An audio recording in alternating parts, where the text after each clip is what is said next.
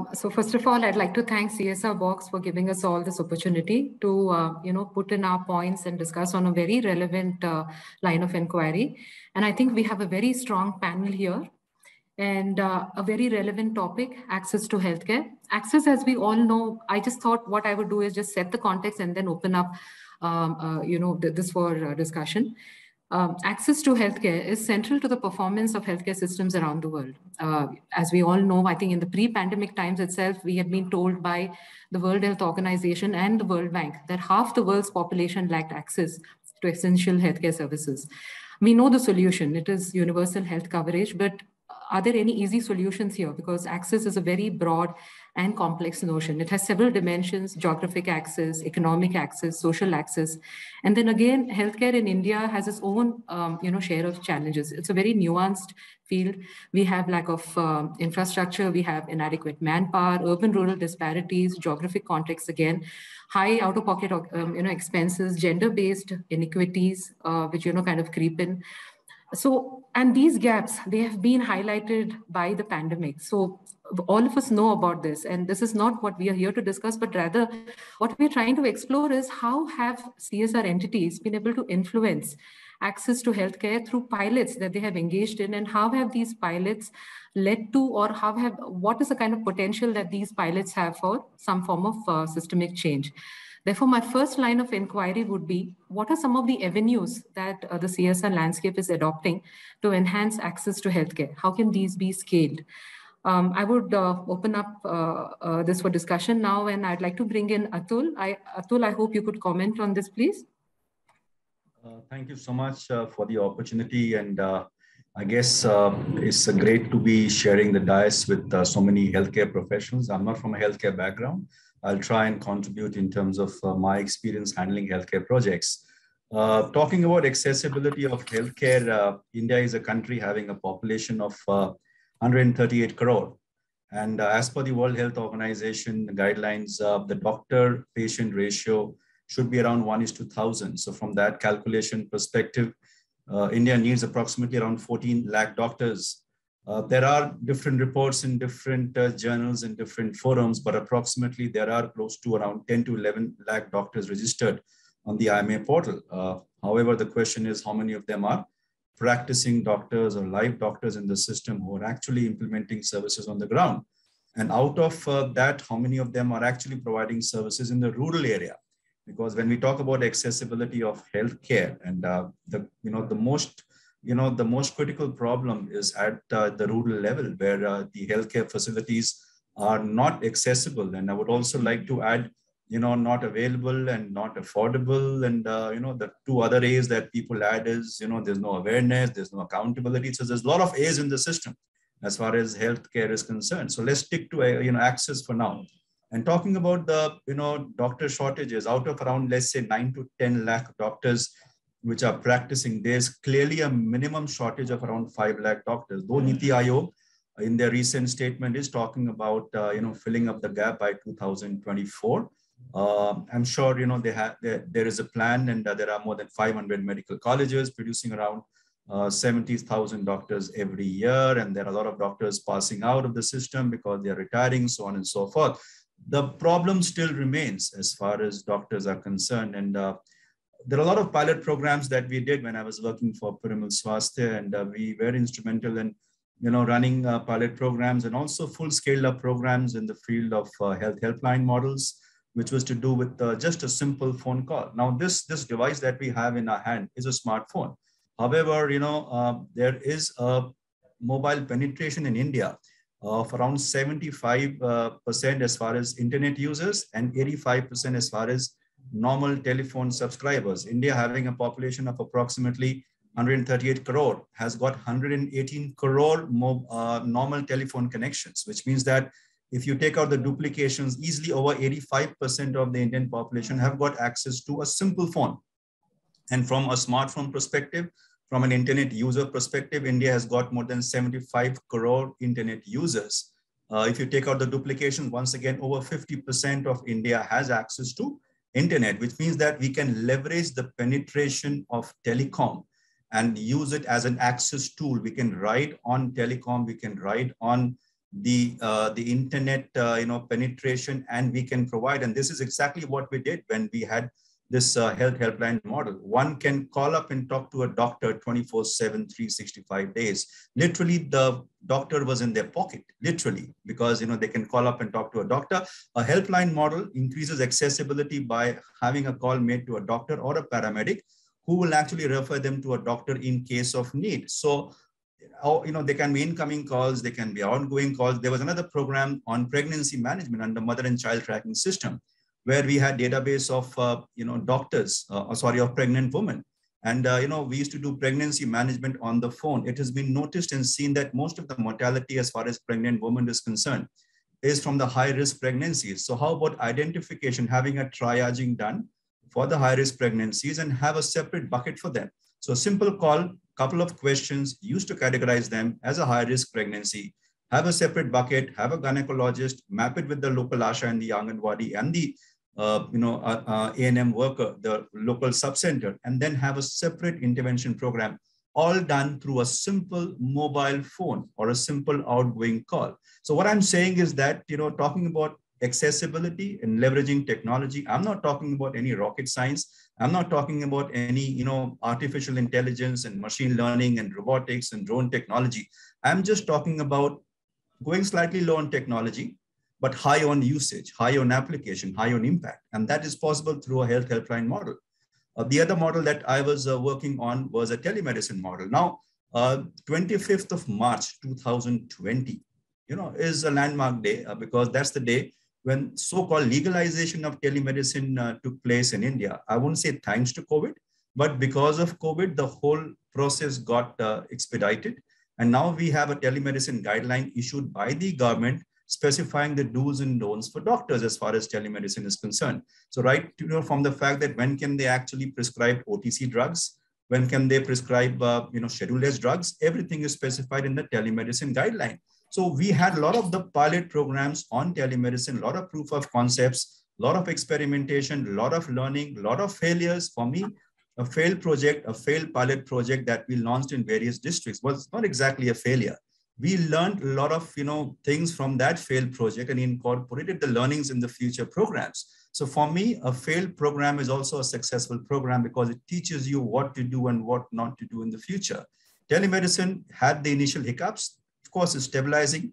Connectivity is getting better. Bandwidth is getting better. And of course, the adoption of technology is also increasing as far as users are concerned. The mobile medical units that we have, uh, that we were operating in various districts, shortage of doctors, not required to have doctors in every mobile medical unit. We can have a mobile medical unit which goes to the doorstep of the uh, of the person. Talking about accessibility, we used to go to villages which were three kilometers away from the closest public health centers and provide them you know on on uh, on the spot door care point of care diagnostic facilities and also a referral model to a doctor. Do doctor need not go you know and we have the paramedics go. They can do the triaging they can do a referral. There can be various permutation combination of technology to do with telemedicine health helpline and to be able to increase access. So what i'm saying here is accessibility to healthcare uh, you know using technology is possible it might not be possible for us to increase our doctor coverage overnight. I'm sure, you know, the government of India and Niti Aayog, they're working in the right direction. However, technology and leveraging technology and riding on the back of technology possibly is the way to go. Pilot programs, you know, that we have, you know, uh, tested, experimented, okay? Some of them are successful, no worries the we'll learnings are the there to be incorporated. Yeah. Then, of course, you know, scale up possibilities are there immense. And of course, you know, we need to scale it up. We need to take it uh, to platforms, to such platforms which uh, can be used to uh, understand the model and have various kind of indicators built into the model to scale it up. And of course, platform like CSR Box is a good platform where we can talk about this, this model and kind of talk about possible scale up in the future. Thanks, Atul. Thanks. So I mean to say, you know, you've talked about one of the game changers here. Technology has been turbocharged, you know, so to speak. I think the pandemic saw all of us leverage on technology in a very big way. Um, I would also want to understand what has been, and you've touched upon it, you know, with the power of models, the power of partnerships. But uh, can I bring in Dr. Kavita to kind of, uh, you know, share her thoughts on uh, what has been the power of, say, innovations, models, uh, you know, in this space of increasing access to healthcare? Yeah.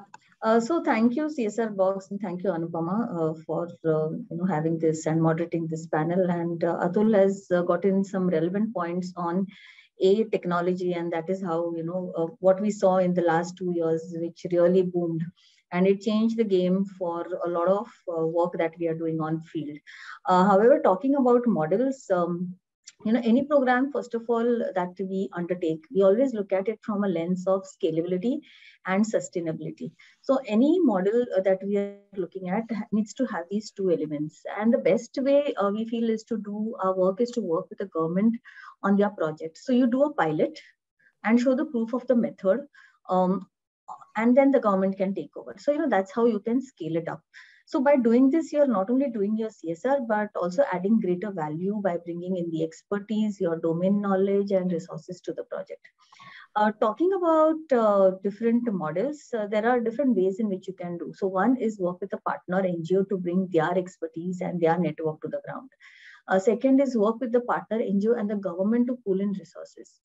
And third is you can, you know, directly work and bring in your uh, expertise in the organization to work on field but that becomes a little difficult given your uh, you know the time constraints of the other people in the organization uh, what one of the models that we looked at was a pilot in maharashtra and i'm going to share just two examples over here and what is it that we looked at it and uh, how uh, how they are different in terms of uh, you know the way we have implemented them so we did one project called Diabetes with Dignity, uh, which was a community-based intervention uh, with, in Maharashtra in a small village near Pune.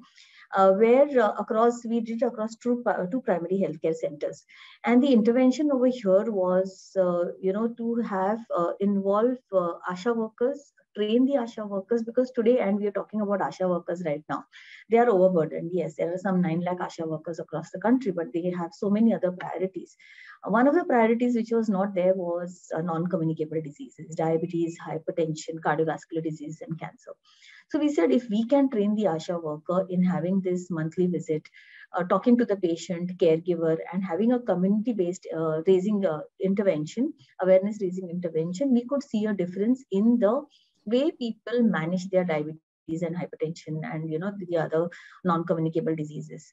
Uh, so we uh, at the end of uh, this project, a two-year project, we did see a change in the knowledge about diabetes, the symptoms, the management, complications, and the quality of life. Actually, the challenge over there is uh, people who are daily wage workers are not going to go and seek um, treatment. They are not even going to the nearest PHC uh, where, you know, probably treatment is available. So how do you mobilize these people? So we worked on this model of ASHA workers and showed it to the government. In fact, it was recently published in one of the journals, this um, uh, data and uh, the government so we have already given it to the government to see how it can be scaled up by using asha workers and leveraging the asha network uh, the second pro project that we did is um, again in the state of um, uh, uh, Goa.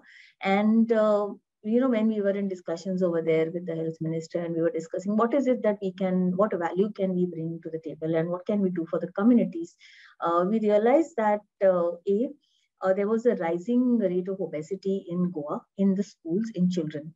So it was very imperative, very important that we talk to the children now so that they become healthier adults tomorrow and that the burden on the exchequer comes down. Uh, so we launched our global program called KIDS, which is Kids and Diabetes in Schools, and it aims at bringing a behavior change. So over here, you are not only talking to the children, but also to the family members and to the communities. So this is the third year of the program. So we have reached out to 150,000 children. We have trained some 1,700 odd teachers. We have reached out to 450 secondary schools. Now, how do you, what is the model? So we said that we will work with the government, we'll work with the education department. So we work very closely with the education department over here and ensuring that all the content that we have created is put on the education department portal. Now, hmm. once it is on the portal, it is accessible to all the teachers, all the children, the students, the parents. So then it becomes sustainable. Uh, of course, there is a lot of handholding. You know, you cannot just develop it and give it to them and say that, okay, fine, uh, we have uh, done the training of the trainer and finish. No, while we have completed three years, we realize this is not going to be enough. So maybe we need to work for another year or two more till the time the government actually takes it up. It may not become a part of the curriculum, but um, it can become part of one of the activities and that is how that is where we are working towards so giving them the proof of how it works what are the impacts uh, what are the uh, indicators which are actually showing an impact and we have seen a lot of those so i think uh, I think that's great, Kavita. You know, yeah. So what you've done is you've actually piloted, showed them that it can work on ground. Yes. And yes. so then there is a potential for uh, you know it to be scaled up, and uh, that's a, that's a systemic design you know so you've addressed. But then would it be geographic uh, you know specific? That is another thing uh, we would have to consider. Would you know would it be able to pan out you know? But several lessons there kavita. Thank you so much. And um, i think we'll move on to sujay now. Sujay if you'd like to uh, pitch in and you know tell us about your experiences um, and what you you know coming from a tech background it would be helpful to understand you know your how you've leveraged on technology no doubt yeah, thank you. Uh, thank you, CSR Box, for the opportunity uh, to be part of this uh, wonderful panel. Uh, just to give some quick insights about our work, uh, especially uh, in the last few years and especially in the last during the pandemic. What we have seen is that, you know, as Mr. Atul was mentioning about the huge demand and the supply gap with regards to the medical forces and the patients, we have also understood that uh, at any given point in time, it is impractical to really think that you will have doctors in each and every village, even for the next 50 or 100 years. The only way that it is possible that with the emergence of the technology, like with my background in the technology, one of the major challenges which we have really seen is that India as a country has tried to adopt a top-down model, meaning that whatever models are there in US or Europe, we have tried to adopt in an Indian context. But India is a country is very different in many ways, uh, wherein every 50 or 100 meters, if you go, you'll see there is a different dialect, there is a different uh, other challenges are there. And even from the health specifics also, different regions has different dynamics with regards to health also. One of the uh, important things that we have done is the usage of the frontline health workers to go up to the last mile, especially during the pandemic when our frontline health workers were able to go to the patient's doorstep and uh, well most of the focus has been on the COVID patients or the pandemic patients. The major problems with the patients suffering from diabetes, hypertension, cardiac ailments, pregnant mothers were completely left out. So through our technology and model, for example, our frontline health workers were able to do something like fetal Doppler for the pregnant mothers at the doorstep, which has been unimagined for. Imagine a pregnant mother during these COVID times where, where she would go for uh, doing this crucial examination. So in this case, we have been able to bring such devices simple hemoglobin checkup, which, which is very, very essential for every trimester that has been missing. So we have been able to bring such devices at the patient's doorstep to do this test. Sujay, the frontline healthcare workers were of what qualification level, if I may ask? They were like ANM levels? Yeah, so they are of ANM levels. And what we have done is we have uh, selected them, we have trained them and usage of the technology. One of the other important factors which we have also seen is that the data, for example, in the CSR, when you are sitting on top of the CSR panels and you really want to figure it out that, okay, in this current uh, new fiscal year, which are the areas wherein I need to focus on, which are the gaps, which are the loopholes. What one of the important things that we have really done is the data uh, you know, complete uh, seamless capturing, meaning that when a patient is being monitored or checked, even across, even in a rural area or an offline, whenever the vitals are being checked up, the data is captured onto the platform. And when the health worker is coming within the internet zone, this data gets seamlessly, uh, you know, uh, transferred to the doctors. Not only that, for any kind of disease, be it the hemoglobin, hypertension, and many other devices, we have done complete data capturing, which does seamlessly. So on a, uh, on a, any, any kind of report generation level, for example, when we roll out the telehealth for the entire state of Nagaland with different partners, wherein we have figured it out that the major problems for any doctor or any, uh, I would say, decision makers within, let's say, the CSR fraternity, for them, the major problems are that they are not uh, in charge of the accurate data that is actually happening on the ground. So if you are able to capture the data seamlessly, wherein with minimal human interaction, with minimal human intervention, the quality of the data can be increased manifold. And we all know that India as a country is coming up with the NDHM or the National Digital Health Mission, wherein we'll be really focusing on the digital health ID for every citizen of our country in the next several years the quality of the data, the data that is captured on the ground is also equally important for you to take any decisions. When I was a speaker at a WHO conference in Geneva, World Health Organization, even WHO really does not know that how and in which way they are going to plan for the next year or the next couple of years wherein as a CSR fraternity, if they're able to uh, really uh, plan and uh, you know design the interventions in a way wherein, let's say, during the pandemic, we have seen that none of the state governments, none of the health ministers were knowing how many patients are uh, really suffering from diabetic, how many are hypertensive, how many of them have cardiac ailments. So without such kind of data, how do you uh, can really fight a battle? So that, that is where I think we need to really emphasize on the quality of the data, the data that is captured on the ground, the quality of your frontline health workers, what kind of activities that they're doing on a day in and day out basis, how we can really improvise on the performance. These are the things that we really need to think uh, for us to plan and optimize in a better way. Thanks, Sujay. So I hear you. What you're saying is data points, you know, having large scale data points, which are, you know, which are being captured, live data and something, uh, you know, wherein human error does not creep in. And also the power of partnerships, like what you've talked about yes. in Nagaland. And of course, one thing which we all seem to agree on is the power of technology. So saying that, I think I'll go on to Neha now. And, uh, you know, I'd like to uh, Neha to opine on what are her thoughts on how can we kind of, you know, uh, you know, what are the kind of models, avenues, the innovations that we can bring in to improve access? Um, see, I think, uh, you know, government, I mean, I, I absolutely agree with all the points made by my co-panelists here. Uh, I think that government and private sector does a very good job of reaching a certain uh, certain percentage of the population. Uh, but there is a certain percentage which is the gap. And that's really where CSR and civil society has to come in. And figuring out what those gaps are in health access uh, is, you know, like the first step towards building any kind of sustainable program. Uh, and I think, you know, one of the biggest things that when we talk about access that we may be missing is looking mm-hmm. at equity in health access is there how much is their health equity when it comes to say tribal populations you know? 7% of the country's population lives in tribal areas but these are some of the most remote most difficult to reach areas. There is never going to be a doctor there. There has never been a doctor there. And so uh, bringing access to a place like this actually comes uh, through in our experience with a combination of various factors. Yes uh, my co-panelist touched upon telemedicine. That is one. So if doctors can't physically be there let's talk about how we can make them mm-hmm. virtually available.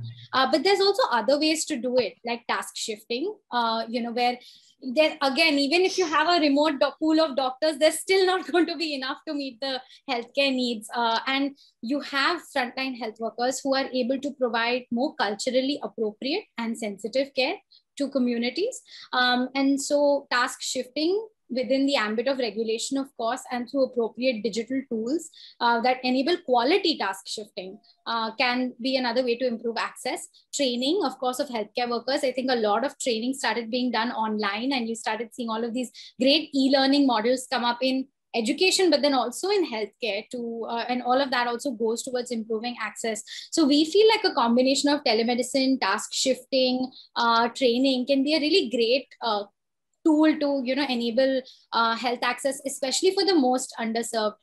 Um, another lens that we look at when we think about access is gender equity. Um, so a study we did in rural gujarat showed that women spend 1.5 times more than men to access healthcare. And that's not just because of social constructs. So yes of course uh, women are 88% of women travel with a companion when they have to access a healthcare service, as opposed 40% of men who travel with a companion. Most men tra- have the agency to travel alone. Uh, that increases the cost for a woman to get access. But then also, um, cost of medicines for women's health issues is more expensive than for uh, generic health issues. Cost to do a consultation with a gynecologist is more expensive than doing with a general practitioner. So when you compound all of that, there is this enormous tax that gender has uh, you know that women have to pay when accessing healthcare. And all of that makes them less likely and uh, you know our study uh, which will be published soon you know similar work came out of all india institute of medical sciences um, that looked at this. And so you know technology and it's not meaning to say that the pandemic created these problems. They existed from before. But if there is one silver lining to look at it helped us accelerate the pandemic did accelerate adoption of digital healthcare delivery models.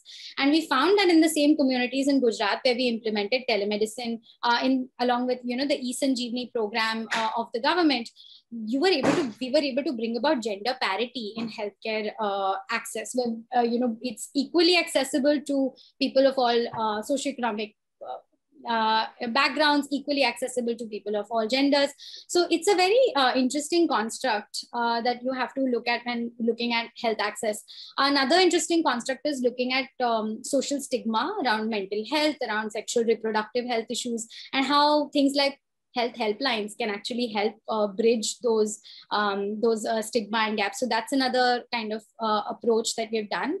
I think maybe a little bit of a uh, this might be controversial, but our approach has always been to be open source with technology.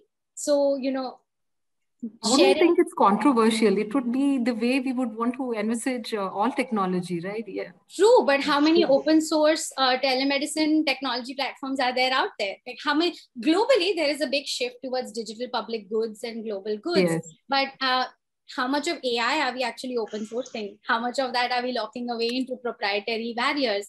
Uh, open source gives a lot of power when you're building out tools like during the pandemic we had over 200 plus software developers from all of the big tech companies pitch into the code base uh, that's not something you could do with a with a kind of a, a not not something that's not a public good so uh, I mean, the reason I say controversial is because when I talk about open source in many forums, um, and especially forums with government there's always this sense of I, intellectual property and fig- figuring out you know and especially even with hard with hardware.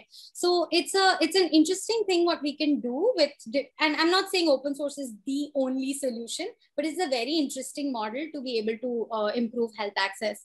Uh, and so our goal has always been we don't set up our own telemedicine networks. We actually work with partner organizations that want to add a digital mode of healthcare delivery to their existing in person programs. During COVID, that became a necessity. But the trend we are seeing is even post, you know, over long term, digital modes of healthcare delivery allow you to have a multi channel approach to reach the same uh, person and that Thanks. allows you to look at access in very different ways. Um, and so the the important thing again like I, guess you know just going off of my co-panelists here partnerships are so important. Uh, we all work in a very connected ecosystem and uh, it, whether it's an ngo a local a hyper local ngo working on the ground or whether it's a government working you know work, figuring out how we can come together as a platform and you know work together has always been a great way to to scale and and grow Thanks a lot, Neha. So I hear you, and uh, you know you've made some real important points. So you've talked about. Thank you for bringing out the point on gender equity. You know it's so important that we factor this in in our programs, and also about task shifting. I think this was also mentioned um, by one of the participants. He had posed this question in the Q and A, and also of course you know technology is a public good you know so that's that's so very critical for us to kind of understand and uh, just to be cognizant of time, I thought we'll go on to our next round. And uh, I request uh, all of you to give us, uh, you know, two salient points, what you think are about challenges, basically. I'll post a question uh, shortly, and then we'll open it up for Q&A. I see a few questions there in the Q&A box, but I would request the participants, if there is any other query, please keep posting and we'll take it up at the end. Um, all the panelists have agreed that we should keep at least a good eight to 10 minutes for Q&A. Uh, so saying this, I'll just go on to, uh, you know, the next line of inquiry. What we were looking at is, we've all talked about successes of our pilots. No doubt, of course, you know, we've all faced, uh, you know, certain obstacles, but that is a learning in itself. So what have been the challenges in scaling up a pilot project? What are the, you know, the challenges could have been in terms of policy structures, in terms of the mandates, in terms of the collaborations? How have you made partnerships work? And so basically what we're trying to understand is what has actually worked on ground? What have you kind of encountered and what has worked on ground? So uh, let, us start with you, Atul, if you can kind of, you know, talk about your experience. Yeah, uh, interesting question. Uh, challenges as far as scaling up is concerned. Now, uh, before I go to challenges as far as scaling up is concerned, let me also discuss challenges in terms of implementation and also implementation of pilot programs implementation of proof of concepts. Now, uh, on the 23rd of, uh, 22nd of Jan, I think, uh, uh, 20, uh, there was a CSR rule. CSR amendment, yeah. yeah. So uh, section 135, uh, schedule seven had a CSR rule amended. Uh, and in that rule came in a new legislation or a new kind of uh, requirement for all the NGO partners, uh, you know, to have certain uh, criteria to be able to work at the ground level. Now, as you know, we corporates, we are so dependent on NGOs as far as work at the ground is concerned work at the bottom of the pyramid is concerned. Now, even to implement a pilot program or a proof of concept, we require the help of NGOs. Now, uh, let's say, you know, we have an NGO. Uh, now, let's talk about, uh, you know, West Bengal. And uh, I'm based in Calcutta. Emami's head office is in Calcutta. Unfortunately, last two years uh, in Bengal has been very challenging. In 2020 uh, came the Amphan cyclone and the Sundarban area was completely devastated. And as we were recovering from Amphan came the Yaas cyclone. And the Yaas cyclone had a dual kind of a disaster, two disasters you know, happening at the same time, which is the COVID was anyway there. And then of course the, you know, the cyclone was there. So we thought of working very much in the Kontai area and in the, you know, cyclone pronged, you know, kind of affected area, which is the Mandarmani Digha area of, uh, you know, South Bengal. Now, uh, we have certain NGOs who are great in terms of their community connect, their you know their penetration level their you know reach out is very good. They have a good presence at the ground level. They've got good stakeholder relationship going. However they do not have a csr registration number they do not have an 80G, uh, income tax uh, registration. They do not have the 12a exemption. They don't have let's say three years of experience. Some of them are new ngos so that limited us in terms of working in those areas to be able to provide the basics. We're talking about when we talk about a cyclone affected area, please understand we don't talk about anything which is a health or uh, you know education. We're talking about basics, roti, kapra, and makan. Because you know I had been to some areas, and then you know I still remember a man standing in the middle of the field with just one piece of cloth, a gamcha, and he had nothing. His whole house was blown away in the cyclone. There was no house, there was no home, there was no clothes, there was no utensils, there was nothing with him. So what do we do with him? We put him in a shelter home. We give him food. We give him, you know, water. We give him medicine. We look into, you know, kind of making a house for him in the future. We look into livelihood. So from that perspective, it is not possible for us to work at the grassroots level. NGOs have to work, and this is where you know we have challenges in terms of working with NGOs and get um, uh, and getting even the proof of concepts implemented or the pilot programs implemented. Also uh, to do with uh, the size of the program, let's say we are working in Sundarban area. Let's say we are working in uh, you know East Midnapur area. Now, according to me, uh, there has to be a sizable size of a pilot program for it to be factoring all areas or indicators of a program. You can divide this into the fixed and the variables. So to scale up a program, I think what is required is demonstrable results. We need to have good evidence and proof of a model working in a you know uh, in a particular geography because sometimes you know one size fits all policy doesn't work all the time if i have been working let's say in south bengal in sundarban area and i think dr sujay santra has also worked in the sundarban area very extensively he knows about the problems he knows about the accessibility issues he knows about the mindset the culture the socio-economic condition. So scaling up a sundarban project for example you know will not be possible in any other area because it is geography specific. So we had faced some geography specific challenges in terms of scaling up. And as far as scaling up is concerned we all talk about you know uh, the government you know is the best uh, partner to scale up. Scale is only possible through the government and they are the only kind of partners with whom we can make a transformational effect as far as the entire country is concerned. However, you know, the government model also has certain challenges in terms of sometimes the government treating, you know, the partners as a vendors and not partner, and there's not equal relationship. There's a big brother approach. So these are some challenges of scale up that we all face. And so the uh, the idea that we are now exploring is a PPP, which is a private-private partnership. So we have a PPP, which is a public-private partnership.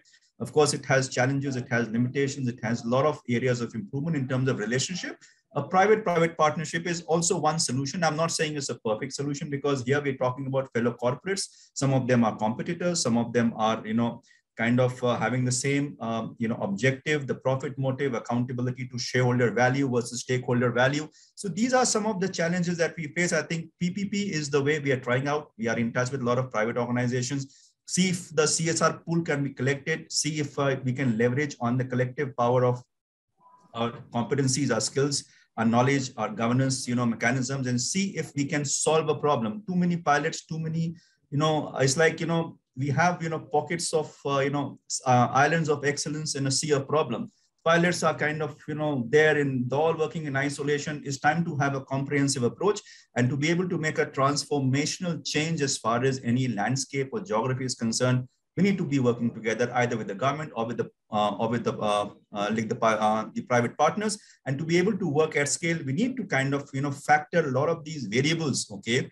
In a pilot program work on the variables. Economies of scale doesn't always work okay so from that perspective we need to identify factor for this and make sure that we identify our partners and then of course i'm a strong advocate of platforms for scaling we need to you know to take a program to the policymakers, to the government, we need to you know, use appropriate platform. Just presentation of a case study on a seminar like this might not suffice. We need to have you know, bigger platforms to scale up, uh, to uh, present the demonstrated results of that pilot program. Thanks a lot, Atul. So, you know, from what you've said, um, I understand, you know, you've uh, kind of rightly commented on the power of uh, private-private partnerships, like, you know, as opposed to, say, public-private. What you're saying is both can work you know and we need to leverage on uh, various kind of models in order to take the agenda forward. And you're very right. Most of us seem to be stuck in pilots and it doesn't seem to scale. So forming consortiums of like-minded corporates such as us and i think csr box is a great forum wherein you know we get to understand uh, you know what are the thought processes of various organizations. So this is a great starting point and um, glad to know that you already have such uh, you know kind of partnerships uh, happening.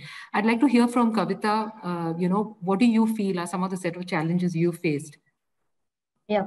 Um, so I uh, clearly resonate what Atul just mentioned, uh, on-ground challenges with the NGOs having the certifications. Uh, so that is one challenge. And at the government level, and we do a lot of work at that level, and uh, we have had our learnings and uh, our insights from there.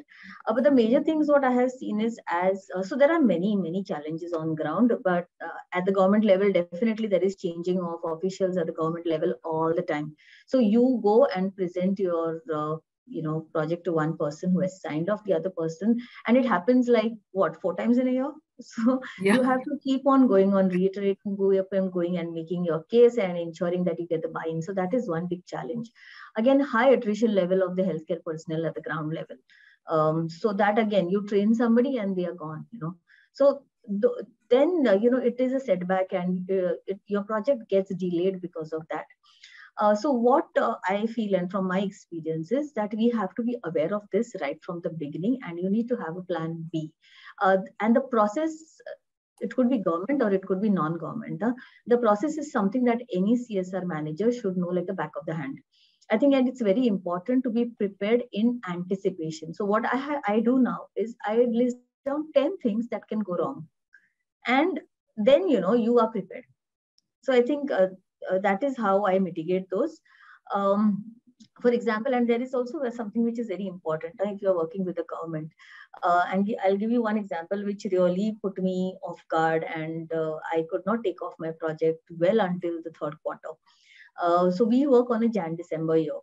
Uh, and uh, whenever we are working on projects and whether it is with the NGO or with the NGO working with the government or we working with the government, whatever it is, we ensure that we are part, we are aligning it to the PIP of the government. So whenever they are doing the PIP, we ensure that, you know, it is a pool of resources that we are collecting. And on one such uh, pro project, which was a big project, um, the PIP, the approval came only in the end of the second quarter. So by the time we could take off, it was third quarter. And then, you know, everything was derailed. So these are some challenges. Again, uh, who has the decision-making power? uh, whom are we talking to? Are we talking to the person at the top or are we talking to the person who is implementing? Because the person who is implementing clearly is an implementer. Will tell you tell them what to do, they will do. Uh, but the decision is not there. Again, you know, if there are some other uh, priorities which come in in between, then your project goes for a toss. So I think these are the challenges that we face all the time. But now we have learned. We know how to mitigate them. We know how to be prepared for it. More than mitigating we know how to be prepared for it. So there has to be a constant dialogue a constant interaction over there at the ground level then at the level of the government uh, which then you know can keep your project uh, online. I think uh, that happens all the time. Thanks kavita. Sujay would you want to comment here please yeah with regards to the challenge one of the major things that we have really seen that when you are doing a pilot and you really want to scale, let's say the CSR has some corpus of money and they, they are putting it for the first year, second year. But if the project is uh, or the CSR priorities change uh, changes, then automatically you have to wind up that pilot. And uh, the beneficiaries are the most affected in such cases. So what we really feel is that we have, let's say, the sustainable model wherein uh, through our frontline health workers, what we have designed is that uh, these frontline health workers are able to earn a livelihood because they are charging the patients and that's how even if the priorities of the csr changes after a few years the project is self-sustainable in nature and that is definitely benefiting to the community. Uh, so one of the aspects in terms of the scale definitely is the fund or the uh, the priority of the funds uh, if those things can be materialized and if the csr funders are able to look at a long-term perspective meaning that nothing no, no change you would be able to do it in a in a short span of time maybe a year or two years. If you really want a, a, deeper intervention if you are able to think on a sustainable platform over a long haul period of at least three four five years then you would be able to see a real major impact uh, over that uh, time. So that is i think one of the major things which we all need to think about. Thanks a lot sujay. So uh, just to keep uh, you know track of the time i'd like to neha to kind of answer and then we can go on to you know q&a because there seem to be quite a few questions. Yeah. Yeah, I think, uh, you know, pilots have to be designed in the pilot stage itself with scale in mind. So very recently we put out a um, can a, a canvas, a program design canvas that talks about the 15 key things that we should keep in mind in your project when you're starting in the pilot phase itself. And when you put it into the design of it from day one itself, you know, you are doing it in a systematic manner, which in, improves your likelihood of, of scale. Uh, another important lens that a big challenge that we have seen uh, is community trust. Uh, especially during COVID, especially around all of this messaging that has gone around. Trust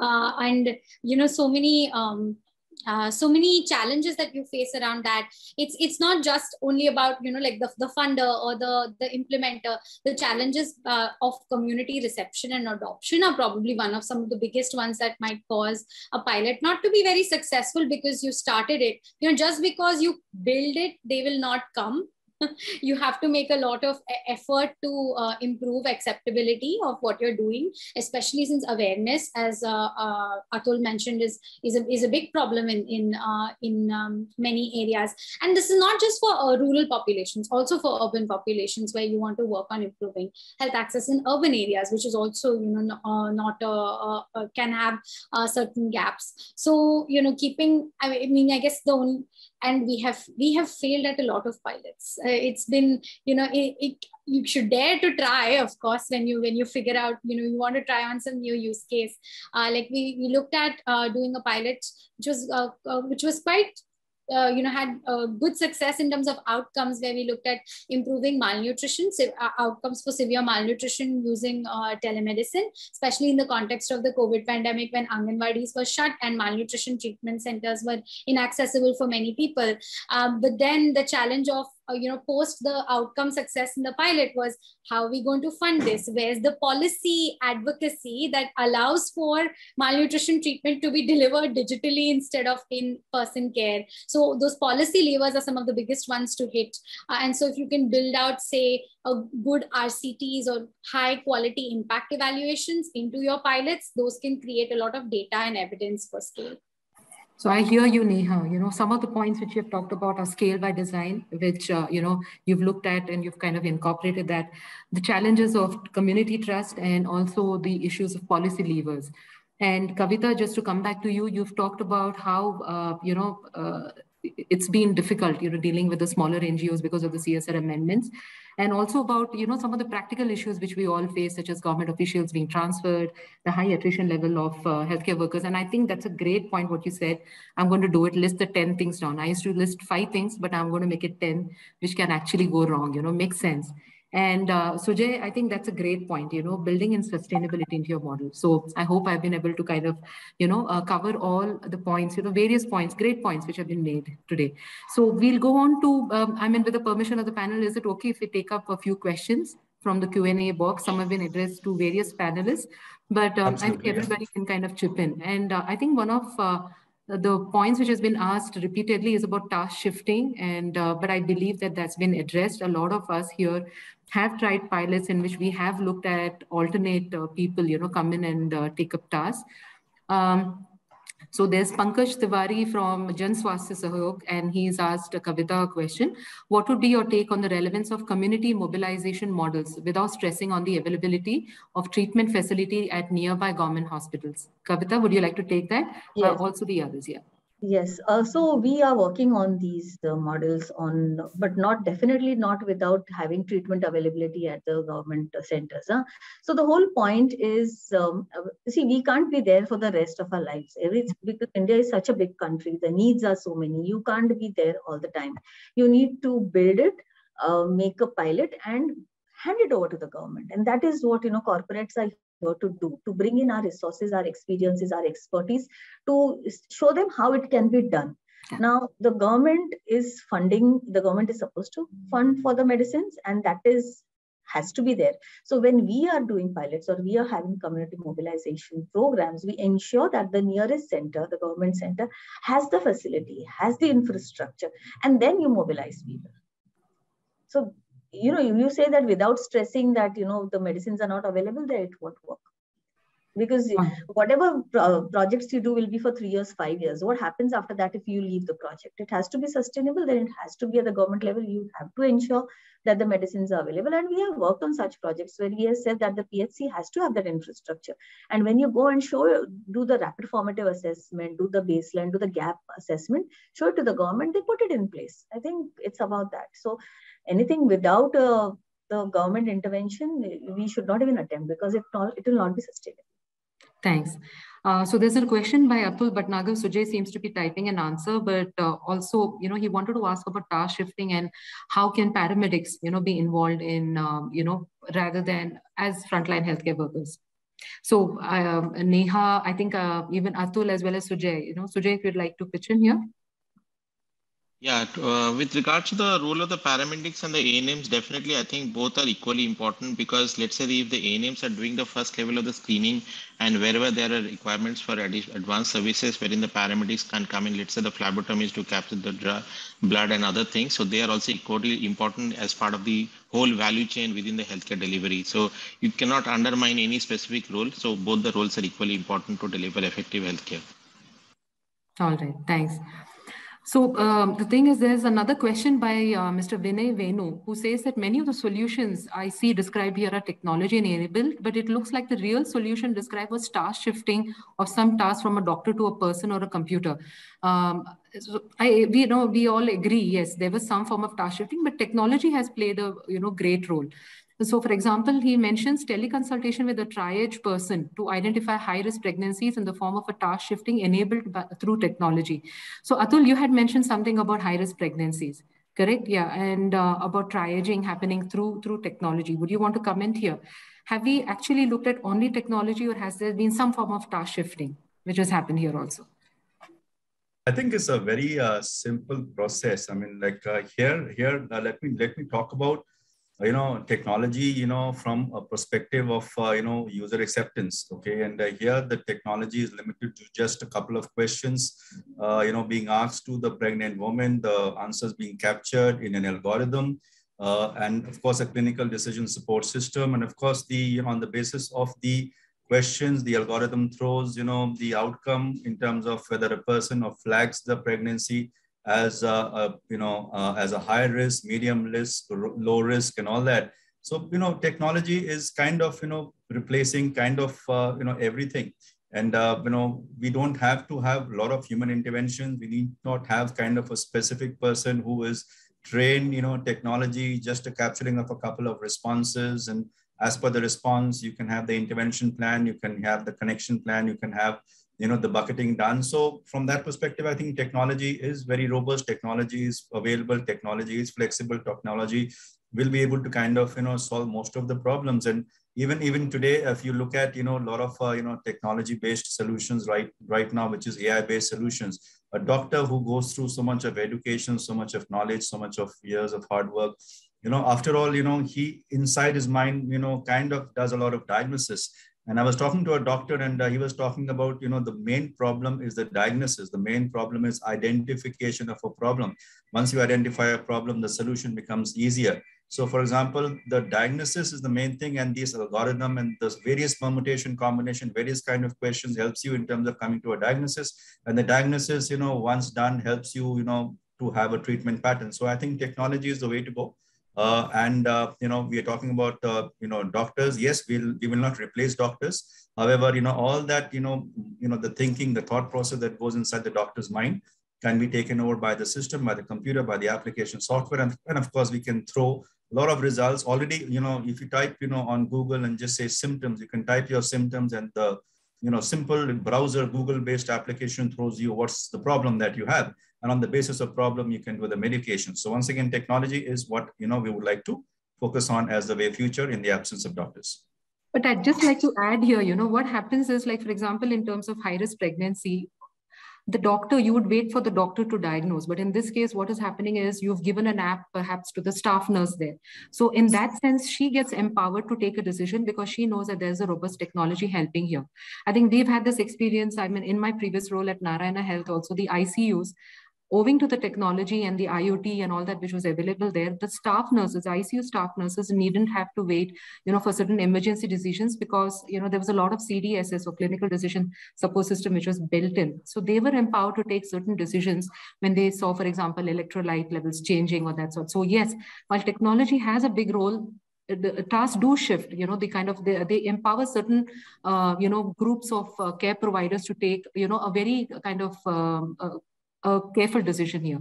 I mean, that's what uh, that's what my experience has been here. Like you know, um, so there's another question, Neha, for you since you brought in the gender equity part of it. Um, there is uh, Benita Moitra. I saw her here. She had asked a question about your experience and um, you know how how have you kind of addressed uh, gender equity.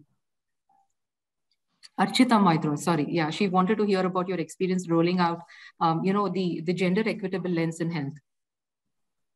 Yeah, so it it starts off again by being very intentional in the program design is is by understanding and recognize i think we all understand and we all recognize there is gender inequity in health uh, uh, in health access. Uh, the important thing is to understand the social constructs that are causing that gender inequity and then figuring out ways to improve it. So a couple of examples I'd give of projects are a project we're doing with uh, IBIS Reproductive Health. We're supporting IBIS Reproductive Health and Vikalp Sansthan in Rajasthan. Uh, it's a health helpline for sexual reproductive health services as well as for women survivors of domestic violence where they can call in helplines, they can receive uh, healthcare services if they're having physical health issues, mental health issues, but then also legal uh, services and support that they need uh, as, as uh, survivors of domestic violence. Uh, with Uninhibited, we are supporting a menstrual health helpline to allow um, adolescent girls and adult menstruators to understand uh, safe practices around menstrual health and hygiene. These are taboo topics, not very openly talked about. So when you are able to, you know, speak in a confidential, uh, even uh, in, in a safe manner with uh, with a counselor about you know what what are the right steps you could take. So these are some ways in which you look at you know what are the social constructs that hold women back from accessing healthcare equitably, and then you work out designs and solutions that overcome those social constructs. Um, another important challenge, of course, is smartphone ownership and phone access for women. So while there may be a phone in the house, it's usually with the male earning member of the family, uh, usually the son or the uh, the husband or and the woman access to that phone may be limited so when you are designing a health helpline project especially one catering to women you have to be mindful that many places you will have to add a component of say a local asha worker who can be the health access point for women who women can come to her and she can facilitate a call for them so it's very important to think about all of these things when you're when you're looking at gen- a gender lens to program design all right. I think uh, that there are, thanks a lot, Neha. You know, what you have mentioned is that, you know, you looked at it by design, and I think that's amazing. Uh, there are several questions which we may not be able to answer. Dr. Braj, I know that you have posted a question and I would request Kavita also to look at it. And uh, there are certain questions, please look at your QA boxes panelists and uh, whichever, whoever can, please do answer that. But uh, we're, we're short of time. I think we've kind of absolutely ended it um, at 16.55. Uh, I see Sparsh has put on her video, which is a signal to us to kind of now kind of leave the, uh, the floor. But yes, Sparsh. Another five minutes, ma'am, if you want. Yeah. So uh, I would like to take that question of Dr. Braj. Yeah. Uh, and he's asked a question on India holds 28% of the global burden of tuberculosis. Yes. And what the CSR investment to TB is minuscule and how to address this. And the question specifically to me is, will Sanofi be interested to do a pilot with rifampicin as chemoprophylactic therapy for children under three years, under six years?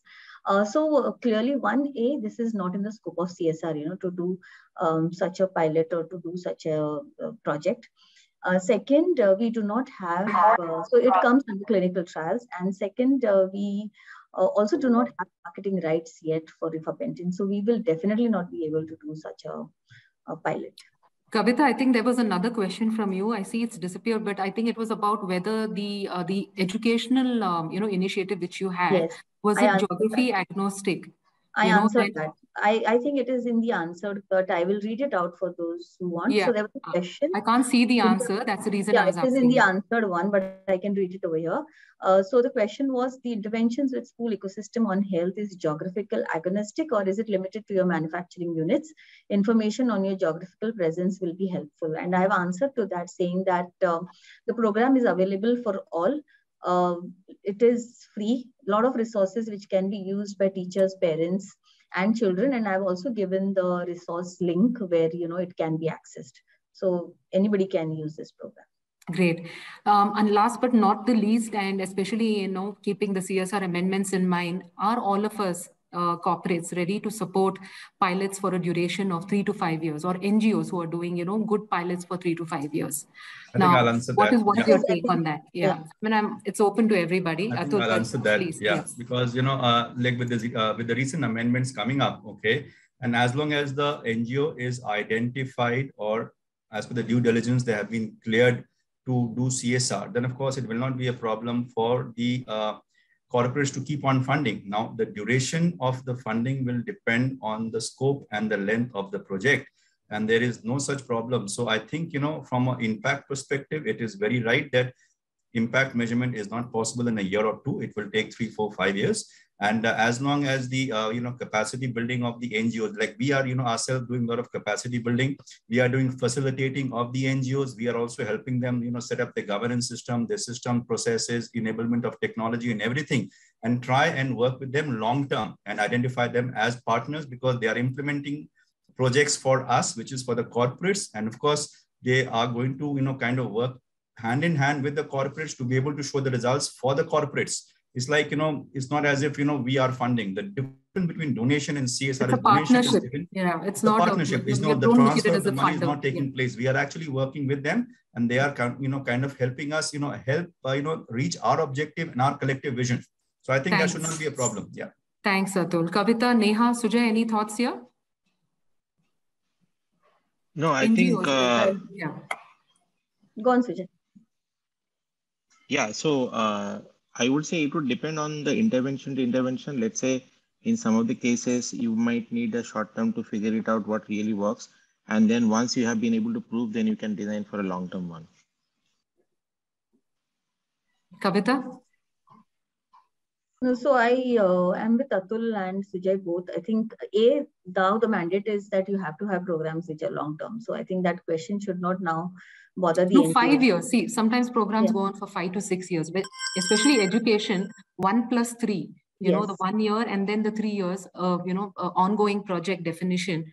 Can we go beyond that? You know, if you want to make a long term yeah because so, otherwise there are programs you cannot make an impact in three years and four years absolutely great so thanks it, it has to it has to extend thanks a lot all right, then. I think, uh, you know, we've been able to answer quite a bit in the QA box. So, Sparsh, uh, over to you. And I'd like to thank all the panelists, Kavita, Neha, Atul, Sujay. There were some excellent points which were made. I have learned, and I hope the participants uh, got to, you know, understand and at least learn from your insights from the field. Amazing, uh, amazing job. Thank you so much.